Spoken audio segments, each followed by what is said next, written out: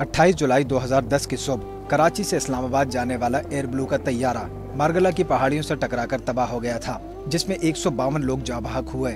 जहाज़ में नौ बेहाता जोड़ा, रोमेसा और रवेश भी सवार थे, जो हनीमून के लिए जा रहे थे। रोमेसा की वालदा जरका के जख्म आज भी ताज़ा हैं। वो लम्हा अब भी तक मैं नहीं भुला सकती हूँ समझ नहीं आ रही थी कि ये किस तरह हो गया मतलब फ़र्स्ट मीटिंग में हमें कहा गया कि सिक्स मंथ का टाइम दें और जो फ़र्स्ट रिपोर्ट प्राइमरी रिपोर्ट आएगी वो हम आपको भेजेंगे। एक साल गुजरने पर भी हादसे के असल हकाइक सामने नहीं आ सके। जाबाक होने वालों के रिश्तेदारों का मुतालबा है कि हादसे की शफाफ तहकीक की जाए।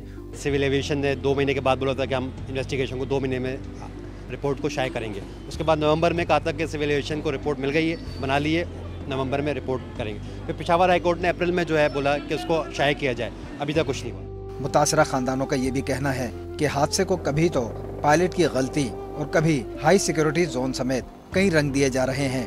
मगर तैयारा पहाड़ों से टकराने से पहले फजा में फटने को किन मानों में लिया जाए, इस बात के भी कई लोग शाहिद हैं।